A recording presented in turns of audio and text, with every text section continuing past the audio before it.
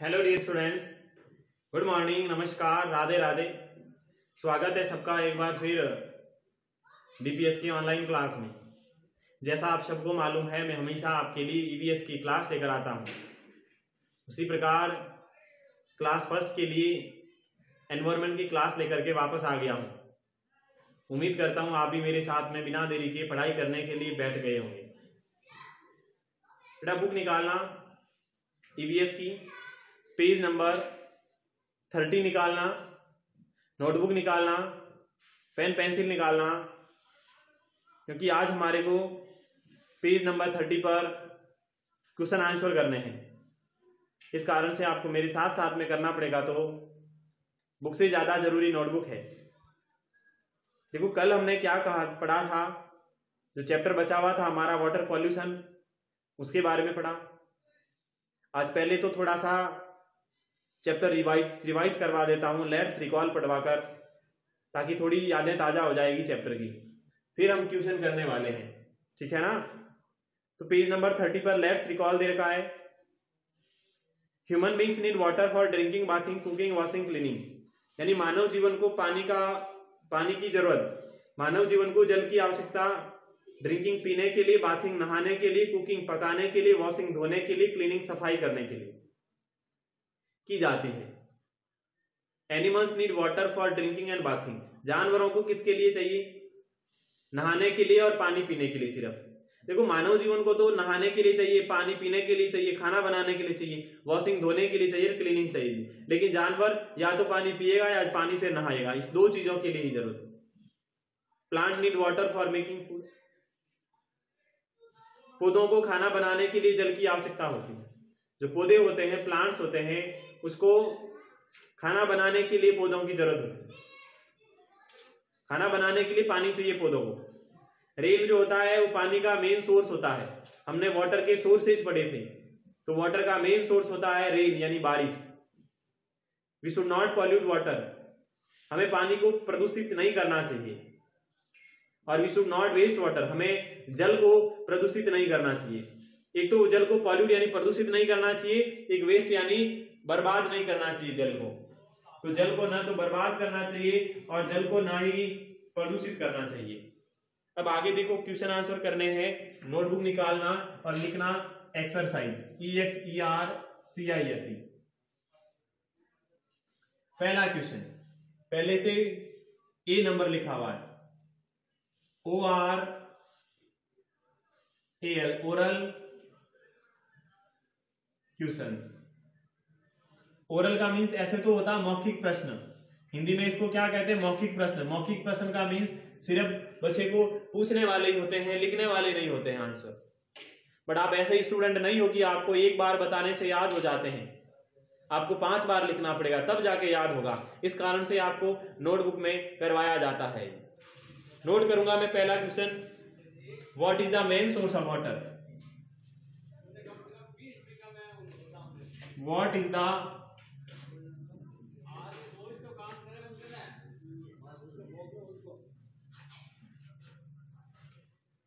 main source of water what is the main source of water यानी कि जल का मुख्य स्रोत क्या है? देखो, अभी हमने पढ़ा था। अभी जब मैं आपको चैप्टर रिकॉल करवा रहा था, तभी हमने पढ़ा था। और इसका आंसर आपको आना चाहिए। अगर आपको इसका आंसर नहीं आता है, आप मेरे सामने होते तो मैं आपको ऐसा स्लैब मारता एक कि आपका गाल सूज जाता। लेकिन आप मेरे सामने नहीं हो, मैं आपको मार नहीं सकता, मैं आपको पीट नहीं सकता। बट आपको आंसर लिखना है। आपको ऑनेस्टली ईमानदारी पर रहना है, आपको याद होना चाहिए। आपको याद होना चाहिए कि अभी मैंने चैप्टर का रिवाइज करवाया था, तभी बेटा चैप्टर रिकॉल पढ़ा जाता है। क्योंकि कम से कम चैप्टर रिकॉल में जो भी चार पाँच लाइनें दे रखी होती है, उस चार पाँच लाइनों में से तीन लाइन तो ऐसी होती है हंड्रेड परसेंट कि किसी ना किसी क्वेश्चन का आंसर होगी वो। तभी चैप्टर रिकॉल दिया जाता, बाकी क्यों दिया जाता? ऐसे ही थोड़ी दिया जाता है। अगर पाँच लाइंस दी रखी होती है चैप्टर रिकॉल्स में तो समझ लेना, तीन लाइन तो आपके क्वेश्चन का आंसर होगी, किसी ना किसी क्वेश्चन का आंसर होगी। और ये क्वेश्चन का आंसर आपको उसी में मिलता है। देखो फोर नंबर की लाइन जो अभी हमने पढ़ी थी, उसमें लिखा हुआ है R A I N rain is the main source of water rain is the main source of water तीसरी लाइन में क्या लिखा हुआ है? बारिश जो होती है, जल का मुख्य स्रोत होती है। Rain is the main source of water बारिश जल का मुख्य स्रोत होता है। क्या होता है? जल का मुख्य स्रोत। बारिश होता है, वर्षा होती है। बाकी पानी कहाँ से आता है? पृथ्वी पर पानी वर्षा से ही आता है। बिना वर्षा से कहाँ आएगा? कहीं से नहीं आएगा। तो पहले क्वेश्चन का आंसर ये हुआ। अब दूसरा क्वेश्चन दूसरा क्या है? Why is water important for farmers why is a water important for farmers. देखो वाई का मीन्स क्यों? इज़ यानी है वाटर यानी जल इंपॉर्टेंट यानी महत्वपूर्ण फॉर के लिए फार्मर्स यानी किसान या किसानों। एक किसान होता तो फार्मर, बहुत सारे किसान होते तो फार्मर्स। तो किसानों के लिए जल महत्वपूर्ण क्यों है? फार्मर का मीन्स किसान होता है। तो किसानों के लिए जल क्यों महत्वपूर्ण बताओ? किसानों के लिए जल इसीलिए महत्वपूर्ण है क्योंकि जो किसान खेत में फ़सलें उगाता है, उस फ़सलें को सिंचित करने के लिए, सिंचाई करने के लिए, फ़सलों की सिंचाई करने के लिए किसान को पानी की आवश्यकता होती है। जो रेन होता है, वो मुख्य स्रोत होता है। वह हमारे लिए इंपॉर्टेंट होती है। और, किसानों के लिए जल इसीलिए महत्वपूर्ण है क्योंकि वह अपने फ़सलों को पानी देता है। खेतों में फ़सलों को पानी चाहिए इसीलिए। तो आंसर क्या लिखोगे? द वॉट लिखो water is a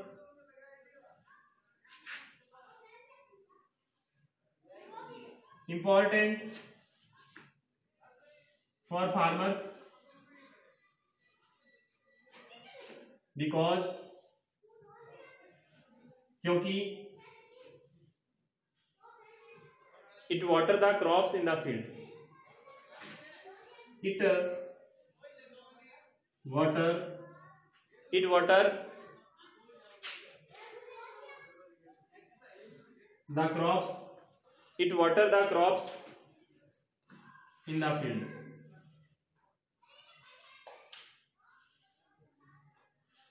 यानी खेतों में फ़सलों को पानी देता है। यह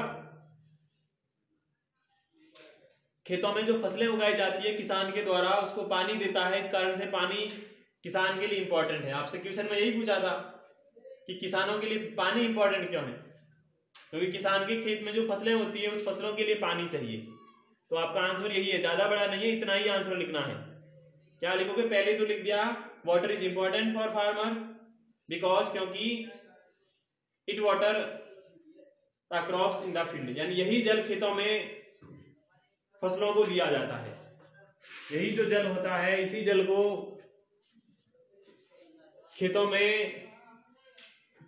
फ़सलों को दिया जाता है। इस कारण से हमने ये आंसर लिखा है। समझ आई ना मेरी बात कि मैं क्या कह रहा हूँ?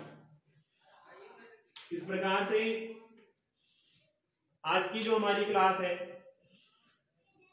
और इस क्लास में हमने दो क्वेश्चन किए हैं और ये दो, दोनों आपको एस डब्ल्यू में करने हैं। होमवर्क में क्या करना है? ओरल क्वेश्चन लिखना। ओरल क्वेश्चन में नंबर वन लिखना पहला वाला क्वेश्चन, उसका आंसर मैंने लिखा है। फिर नंबर टू वाला लिखना, उसका आंसर भी मैंने लिखा है। और इस प्रकार से ये होमवर्क आपको करना है। आगे और क्वेश्चन है, देखो। बी, मल्टीपल चॉइस है। सी, ट्रू, फॉल्स है। D, fill in the blanks है। और D answer in one word है। ये क्वेश्चन हम आगे हमारी आने वाली क्लासों में डिटेल से करने वाले हैं। ज़्यादा जल्दी मैं नहीं करना चाहूँगा। क्योंकि अभी हो सकता है कि मैं दो तीन मिनट और लूँ और एक और क्वेश्चन आपको कंप्लीट करवा सकता हूँ। बी वाला पूरा करवा सकता हूँ। लेकिन मुझे पता है ऑनलाइन क्लासेज ये हैं। क्या पता बच्चे को इतना जल्दी जल्दी पढ़ाया हुआ समझ में आ जाएगा। ऐसा नहीं हो सकता, इस कारण से बहुत धीरे धीरे पढ़ाता हूँ मैं। जितना हो सके उतना ही क्वेश्चन करवाता हूँ। ज़्यादा जल्दी मैं नहीं करता हूँ। क्योंकि हमारे को ज़्यादा जल्दी नहीं करनी, हमारे को अच्छा पढ़ना है। अच्छे ढंग से पढ़ना है, अच्छे तरीके से पढ़ना है। क्योंकि ये ऑनलाइन क्लास है। इस प्रकार से ये जो पहला क्वेश्चन था what is the main source of water जल का मुख्य स्रोत क्या होता है? तो आंसर हुआ rain is the main source of water कि जल का मुख्य स्रोत वर्षा होता है। दूसरा क्वेश्चन भी किया था why is water important for farmers किसानों के लिए पानी क्यों महत्वपूर्ण होता है? तो हमने आंसर लिखा water is important for farmers किसानों के लिए पानी इंपॉर्टेंट होता है। बिकॉज़ यानी क्योंकि इट वाटर यानी यह जल the crops in the field यह जल खेतों में फ़सलों को दिया जाता है। यह जल ही खेतों में फ़सलों को दिया जाता है। इस कारण से ये इंपॉर्टेंट है। इस प्रकार से ये थर्टी वन पेज नंबर जो है, उन वाले वो क्वेश्चन जो है हम कल की क्लास में करने वाले हैं। तो बेटा आपको ऐसे ही पढ़ते रहना है। क्योंकि तो पता नहीं है विद्यालय कब खुलने वाले, स्कूल कब खुलने वाले हैं। अभी तक बेटा इलेवन, ट्वेल्व के स्कूल नहीं खुले तो आप तो सबसे छोटे बच्चे हो। आपका नंबर तो सबसे लास्ट में आएगा। आप तो क्लास फ़र्स्ट के स्टूडेंट हो, आप तो सबसे छोटे नैने मुने बच्चे हो। आपका नंबर तो सबसे पीछे आएगा। आपके जो बड़े भैया बहन है, जो टेंथ में पढ़ते हैं, एट्थ में पढ़ते हैं, इलेवंथ में पढ़ते हैं, ट्वेल्थ में पढ़ते हैं, वो भी अभी तक स्कूल नहीं जा रहे तो आप तो कैसे जाओगे, बताओ?